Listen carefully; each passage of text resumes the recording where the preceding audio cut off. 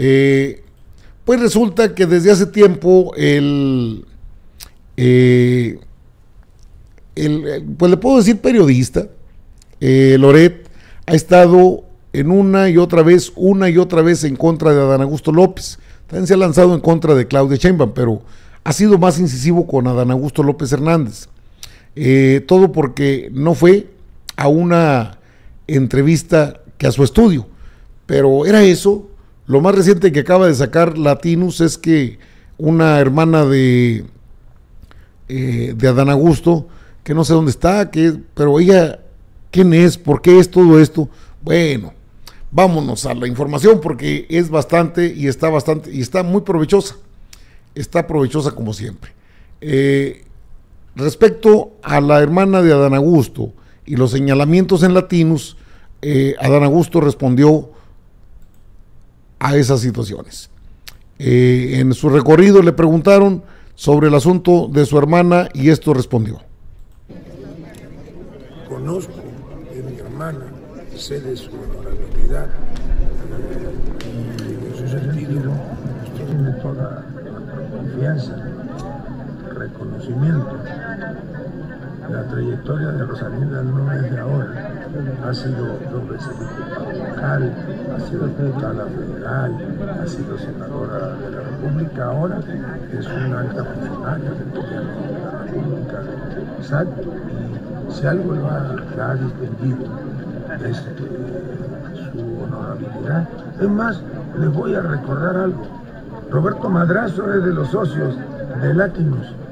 Rosalinda fue la primera diputada federal que en Tabasco le ganó una elección a Roberto Madrazo. Contra todo el dinero eh, de Madrazo se impuso la sensatez, la honorabilidad eh, en contra del candidato. Precisamente son contratos ahora del SAT los que se publican. No los conozco, no, no los conozco, pero repito, si alguien tiene indicios de alguna irregularidad, que presente las denuncias. Yo soy uno de los creyentes de que la vida pública cada día tiene que ser más pública. En temas de minería, sobre específicamente. Bueno, y también comentó esto sobre Latinos. ¿Pendientes que quedan en la oposición? No, ninguna. No sé ni quiénes quedan porque no he leído la noticia. ¿Se espera más ataques de la prensa conservadora como latinos, licenciado? ¿Perdón? ¿Se espera más ataques de la prensa conservadora como latinos? Bueno, ya sabemos Latinos no es prensa conservadora.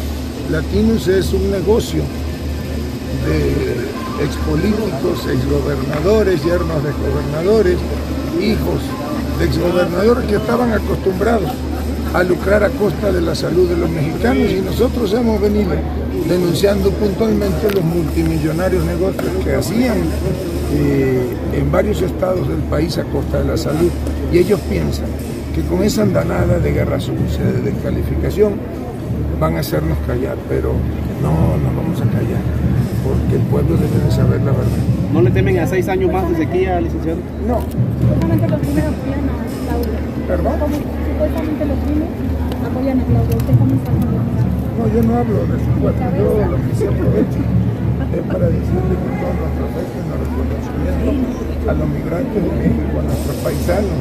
Esos son los verdaderos héroes de la cuarta transformación y de la vida pública. Gracias. Gracias.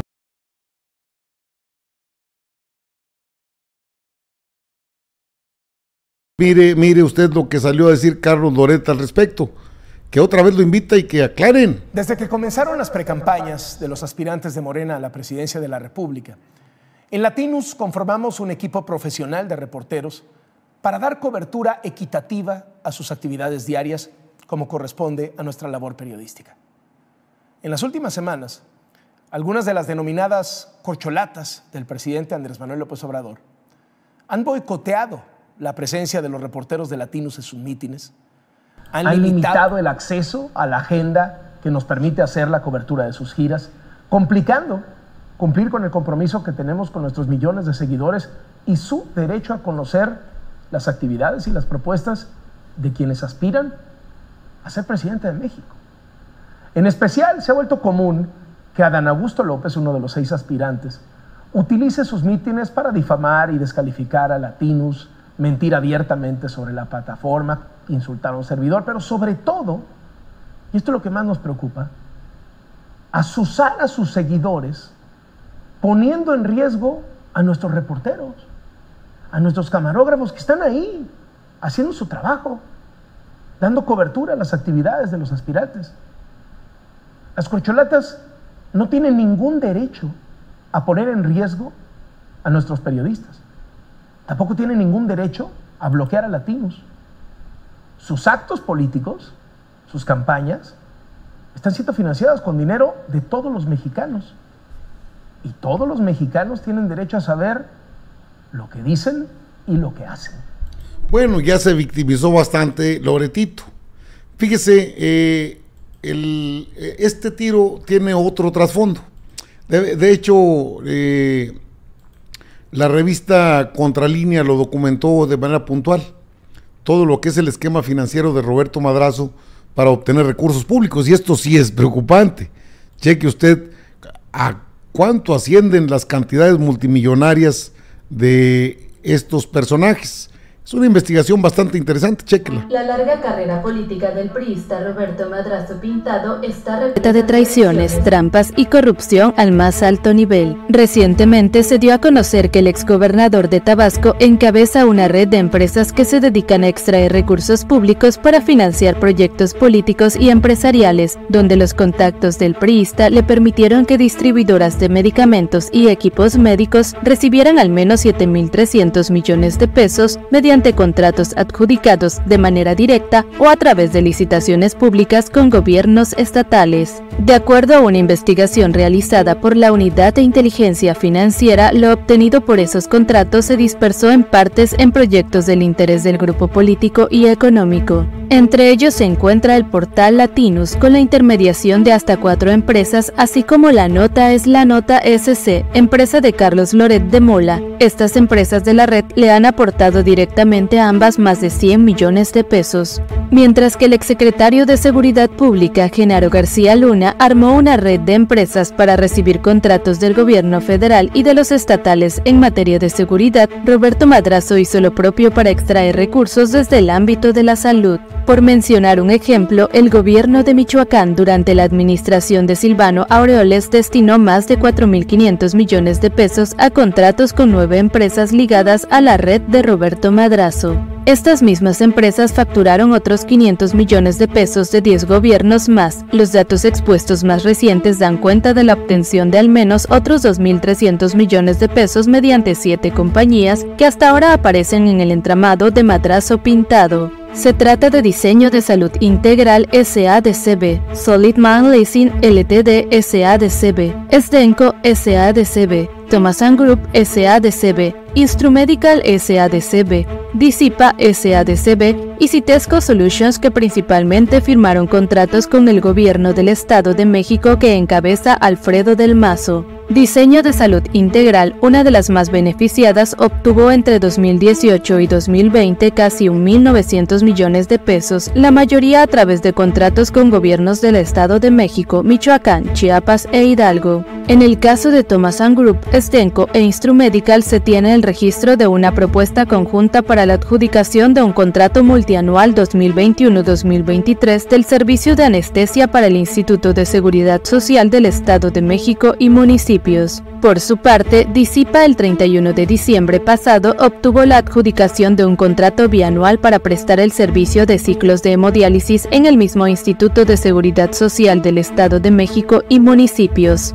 Las operadoras de Latinus BCG Limited Consulting SADCB, la empresa que registró Latinus, recibió de Samedic SADCB en 2020 5.673.787 pesos. A su vez, esta empresa recibió 555.985.864 pesos de servicios de salud del gobierno de Michoacán. Sin embargo, Samedic tiene más transferencias de ida y vuelta con más personas físicas y morales de la red de Roberto Madrazo, Un documento señala que Samedic destinó en 2017 un total de 155.189.245 pesos a Jova Health SADCB, donde es accionista Alexis Nicking Axiola, yerno de Roberto Madrazo. Por otra parte, Servicios de Salud de Michoacán destinó 403.442.850 pesos a Movimedical SADCB, de la que es representante legal Niking Axiola. Esta empresa le transfirió a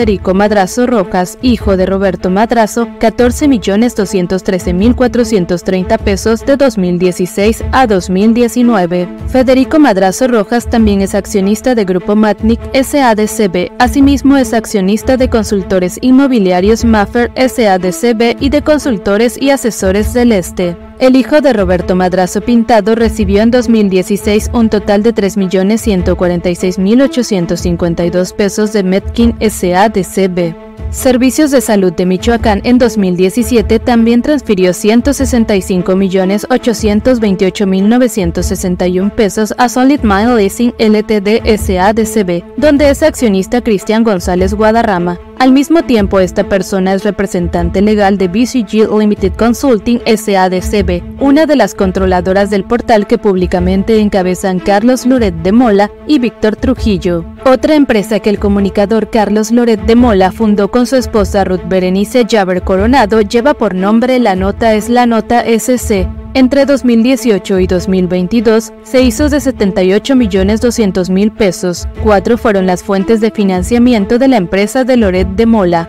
De Radiópolis obtuvo 44 millones de pesos, otros 16.9 millones fluyeron de Radio Centro. La cadena radiodifusora mexicana Televisa le pagó 11.6 millones de pesos y Desarrollo en Radio Radio Fórmula le transfirió 5.7 millones de pesos. Pagos directos. Los pagos realizados a Carlos Loret por 110 millones de pesos en los periodos mencionados se obtuvo de recursos de nueve fuentes por servicios de honorarios. Recibió pagos directamente de su propia empresa, La Nota es la Nota SC, por 46.6 millones de pesos. Del diario El Universal, 19.8 millones de pesos otros 17.9 millones de Televisa Talento, también 11.4 millones de The Washington Post. La agencia de conferencias Allenamenti le pagó 2.6 millones. Otra agencia de conferencias, Ideas que Habla, le transfirió 1.5 millones. BCG Limited Consulting, una de las controladoras de Latinos, 1.9 millones. El banco BBVA Bancomer, 1.2 millones y otros 7.1 millones de pesos. En ese mismo periodo, Ruth Berenice Javer Coronado, esposa de Carlos Loret, obtuvo ingresos por 9.177.000 pesos. Del total, 8.4 millones provinieron del arrendamiento de cinco departamentos en Polanco, Ciudad de México.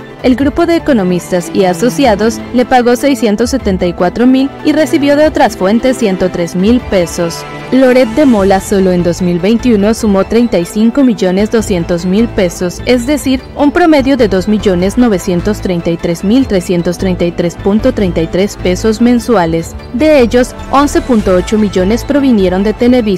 Latinos y USA le pagó 6.3 millones. El Universal, 4.5 millones. The Washington Post recibió 600 mil pesos y de otros clientes 2.8 millones. El pago de Televisa se realizó en calidad de finiquito, de acuerdo con la representación del comprobante fiscal digital por Internet emitido el 23 de marzo de 2021. Televisa Talento SADCB transfirió a Loret de Mola por servicios de liquidación 2.463.000. No, bueno, ya me mareé, ya estoy mareado de tanto. Oiga, con razón es milloneta. Con razón no quiso, eh, cuando lo invitó el presidente de México a decir cuánto gana no, es que gano muchos millones. Pues gana más que el presidente. Dos millones, más de tres millones no, mensuales. Yo creo que gana mucho más. Se habla de mucho, mucho varo. Con razón están ahí en esa eh, postura y en esa posición. Pero se les va a llegar su momentito. Dicen que a cada capillita le llega su fiestecita. Pronto le caerá a Loret esa, esa fiestecita. Está pendiente y uno de los que están atentos a estos es Pablo Gómez. Le aseguro, es bueno en lo que hace, aunque parece que es muy calmado. En realidad tiene muy buen nivel de investigación.